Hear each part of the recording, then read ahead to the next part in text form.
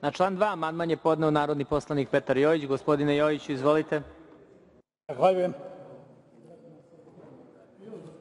Dame i gospodo narodni poslanici, gospodine predsedavajući, u prvom redu želim da ukažem na ozbiljnu ugroženost ustavnog i pravnog poretka u Republici Srbiji. Oni koji su u Narodnoj skupštini i ispred Narodne skupštine divljali pre neki dan, činili nešto što nije zapamćeno u parlamentarizmu Republike Srbije, hteli su da nam pokažu šta je demokratija.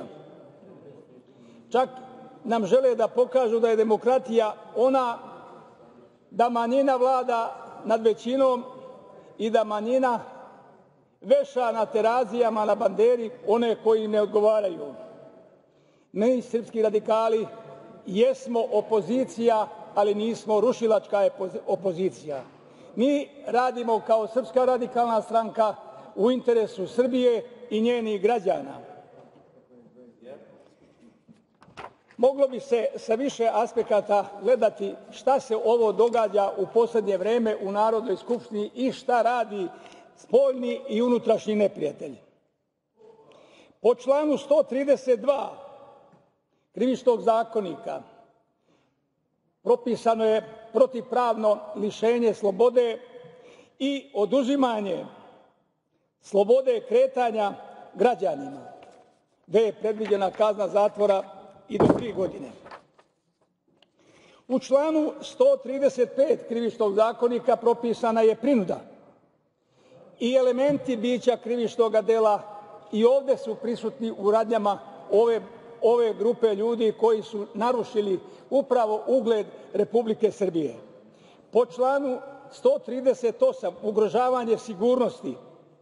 Ko ugrozi sigurnost nekoga lica pretnjama da će napasti na život ili telo, kazniće se. Imali smo napad na uglednog narodnog poslanika gospodina Marijana Rističevića, ali odmah da u vezi s tim kažem da je narodni poslanik, a taj status ima gospodin Rističević, službeno lice i on se ima tako smatrati i kvalifikovati. Zatim, član 173. povreda ugleda Srbije. Ko javno izloži, poruzi Srbiju, njen, njenu zastavu, grb ili himnu, kazniće se do tri godine. I još da vam kažem, po članu 308 napad na ustavno uređenje.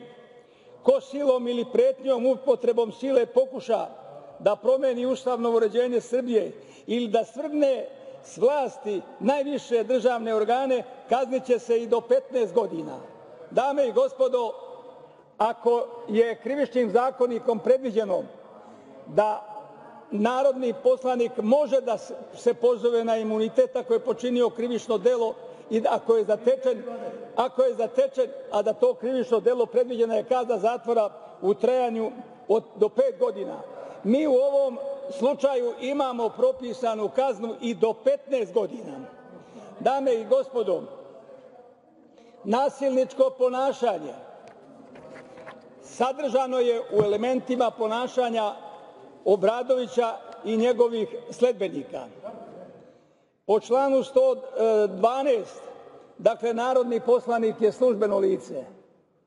Drugo, imate napad na službeno lice, koji, e, sva ona lica koja su intervenisala ovde protiv tih siledžija su pre svega službena lica. Drugo, nasilničko ponašanje koje je propisano članom 344.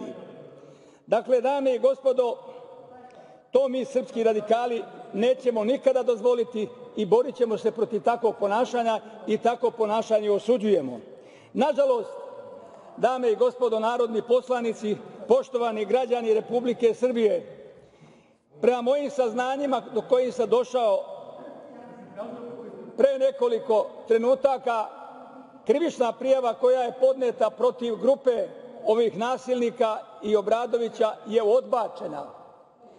Vidite, ako je narodni poslanik napadnut, ako mu je naneta teš, e, telesna povreda, ako ima svojstvo službenog lica, ako ima dovoljno dokaza da je prema njemu počinjeno krivično delo, da je zadobio telesne povrede, da li postoji nešto drugo nego ono što smo odavno govorili u sudstvu i tužilaštvu treba izvršiti promene. Molim vas, kako je moguće da se građanima ne dozvoli ne dozvoli da preuzme krivično gonjenje. Koja su prava Marijana Rističevića? Nikakva. On ima pravo samo kao podnosilac krivične prijave da uloži prigovor.